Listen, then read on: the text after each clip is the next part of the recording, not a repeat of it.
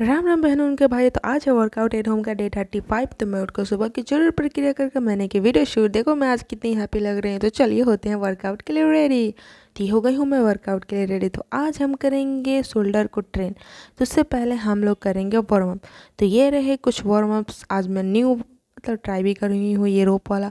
तो आप लोग भी कर सकते हैं। देखो, और कार्डियो तो करना भूलना मत यार। जो लोग वेट लॉस की जर्नी में है ना, वो लोग कार्डियो डेली करो यार। After work after workout and before workout मतलब करना चाहिए मतलब जिस चीज़ को ट्रेन कर रहे हो उसके पहले कर लो और उसके बाद कर लो। वेट मतलब वेट लिफ्टिंग के पहले और वेट लिफ्टिंग के बाद। तो ये रहा मेरा फ़र्स्ट एक्सरसाइज शोल्डर के लिए। तो भाई देखो मैं बता दूँ ना कि मैं देखो ये जुगाड़ है। ये एक्चुअली मेरा जुगाड़ नहीं है। ये मेरी दी दिमाग लगाई थी इतना कि ऐसे करेंगे। एक्चुअली हम लोग पास अभी डंबल है नहीं ना वो आ, कम वेट वाला। तो जैसे तैसे करके अभी कर लेती हूँ यार। क्या ही करूँगी? तो सिस्टर मेरी बनाई थी तो हम भी उसका यूज़ कर लिए अच्छे खासे से। तो ये रहे कुछ और भी एक्सरसाइजेस शोल्डर के लिए। तो देखो भाई, आज हम लोग बात करेंगे कि मतलब हेटर्स को कैसे रिप्लाई दिया जाए।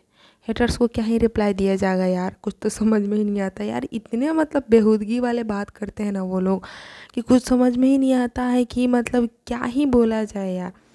जितने मतलब बोलो ना उन लोगों को उतना ही कम ही है। मेन मुद्दा देखो यार, संस्कार पे भी नहीं जा सकते। आखिर माता पिता की उसकी क्या गलती है यार? उसकी गलती है, वो वैसे बिगड़ा पड़ा है तो।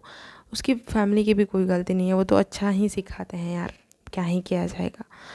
तो भाई मुझे एक आदमी कमेंट किया था कि आप लोग मतलब जो आप कर रही हैं वो सही नहीं है, इनका मतलब अकाउंट डिलीट कर दिया जाएगा, इस रेस्ट्रिक्शन लगा दो। तो मैंने क्या कि मैं ब्लॉक ही कर दूँ उसको तो मिलते हैं नेक्स्ट वीडियो में, जय हिंद।